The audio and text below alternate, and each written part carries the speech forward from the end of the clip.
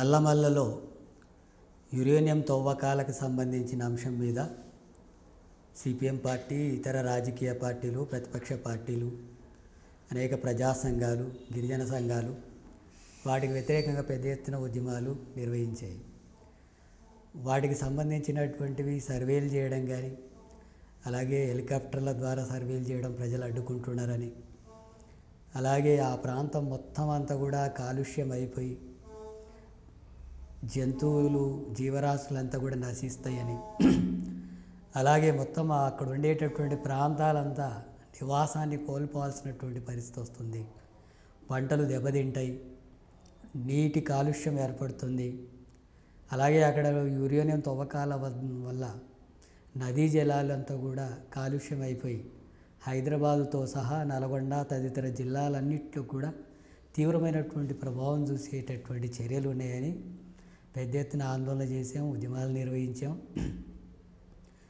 రాష్ట్ర ప్రభుత్వం కూడా స్పందించి శాసనసభలో ముఖ్యమంత్రి యురేనియం తవ్వకాలకు సంబంధించిన దానికి అనుమతులు ఇవ్వము అని చెప్పి మాట్లాడారు హామీ ఇచ్చారు. కానీ ఇప్పుడు ఒకవైపు కరోనా సమస్య కొనసాగుతుంటే కరోనా వల్ల ప్రజలు బయటికే రానటువంటి పరిస్థితి ఏర్పడ్డటువంటి ఈ క్రమంలో నల్లమల్లలో ఫారెస్ట్ అధికారుల యొక్క సహకారంతోన రోడ్లు వేయడం కానీ అలాగే రహస్యంగా సర్వే కార్యక్రమాలు కొనసాగించడం కానీ ఇలాంటి చర్యలన్నింటిని కూడా పాల్పడుతున్నారని చెప్పి గత వారం రోజుల నుండి అక్కడ పెద్ద ఎత్తున ఆందోళన కార్యక్రమం అంటే ప్రజలు ఆందోళనకు గురవుతున్నారు.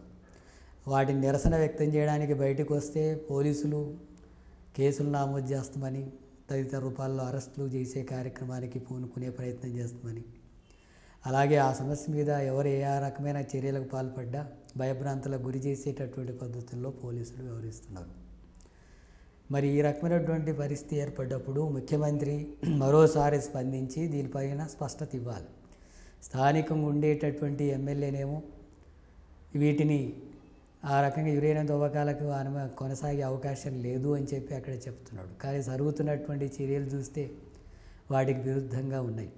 ముఖ్యంగా చెంచు జాతి ప్రజలు ఇప్పటికే అంతరించిపోతున్నటువంటి దశలో ఉన్నారు వాళ్ళు ఈ కరోనా వల్ల వాళ్ళు తీసుకొస్తున్నటువంటి ఉత్పత్తుల్ని బజార్లోకి వచ్చి అమ్ముకునేటటువంటి అవకాశాలు లేకుండా పోయాయి. రవాణా సౌకర్యం కూడా లేదు. మంచినీటి సౌకర్యం కూడా లేదు సరిగా. అలాగే వైద్యం అందక తిండి కూడా సరిగా దొరకక తీవ్రమైనటువంటి ఇబ్బందులకు గురవుతున్నటువంటి ఈ సమయంలో కరోనా సమస్య కూడా వాళ్ళకు ఒక ప్రాణహంతక సమస్యగా మారితే యురేనియం అనేది అంతకంటే తీవ్రమైనటువంటి అంశంగా అక్కడ ఉండేటటువంటి ప్రజలకు అమరాబాద్ ప్రాంతానికి సంబంధించి పదరా మండలాలకు సంబంధించినటువంటి ప్రజలు ఆందోళన వ్యక్తం చేస్తున్నారు. కాబట్టి అక్కడ ఉండేటటువంటి అధికారులు విషయాలు చెప్తున్నా అక్కడ జరుగుతున్నటువంటి చర్యలకు సంబంధించి చూసినప్పుడు ప్రజల్లో ఆందోళన కొనసాగుతున్నటువంటి పరిస్థితి ఉంది. సిపిఎం పార్టీ కూడా ఇప్పటికే ఆ ప్రాంతంలో కూడా నిరసన వ్యక్తం చేస్తున్నది. మొన్న ప్లే కార్డ్స్ పెట్టుకొని దీక్షా కార్యక్రమాన్ని కూడా అమరాబాద్లో నిర్వహించడం జరిగింది. అయినా ప్రభుత్వం సరైనటువంటి స్పందించడం లేదు. ఇప్పటికైనా ముఖ్యమంత్రి జోక్యం చేసుకొని నల్లమల్లలో యురేనియం తవ్వకాలకు సంబంధించి కానీ సర్వేలకు సంబంధించి కానీ వాటికి అనుగుణంగా జరిగేటటువంటి ఎలాంటి పనులకైనా ఇచ్చిన మాట ప్రకారం అనుమతులు ఇవ్వకుండా ఆ పనులు జరగకుండా చర్యలు తీసుకుంటున్నాం అనేటటువంటి ఒక స్పష్టమైనటువంటి హామీని ముఖ్యమంత్రి ఇవ్వాల్సినటువంటి అవసరం ఉంది. ఆ రకంగా జరగకపోతే అక్కడ ఉండేటటువంటి ప్రజలు రెండు రకాలుగా ఆందోళనకు గురయ్యే పరిస్థితి ఏర్పడుతుంది. ఒకవైపు యురేనియం సమస్య మీద రెండోది కరోనా సమస్య వల్ల. ఆ ప్రాంతాన్నే వాళ్ళు వదిలి వెళ్ళాల్సినటువంటి దుస్థితి ఏర్పడుతుంది అనేటటువంటి ఆందోళనలు భయోందోళనలు ఉంటున్నాయి. కాబట్టి ము- ముఖ్యమంత్రి వెంటనే స్పందించాలని చెప్పి సిపిఎం పార్టీగా డిమాండ్ చేస్తున్నాం. ఆ సమస్య మీద ఇంకా ఆ రకమైనటువంటి చర్యలకు పాల్పడేటటువంటి పరిస్థితి ఏర్పడితే అక్కడ కలిసి వచ్చేటటువంటి సంఘాలు సంస్థలు ప్రజాస్వామికవాదులు అక్కడ ఉండేటువంటి ప్రజలందరూ కూడా పెద్ద ఎత్తున ప్రతిఘటన కార్యక్రమానికి పూనుకునేటటువంటి పరిస్థితులు ఉన్నాయి. వాళ్ళ జీవన్మరణ సమస్యగా మారబోతుంది. అక్కడ ఆదిమ జాతులు అంతరించేటటువంటి సమస్యగా మారిపోతుంది.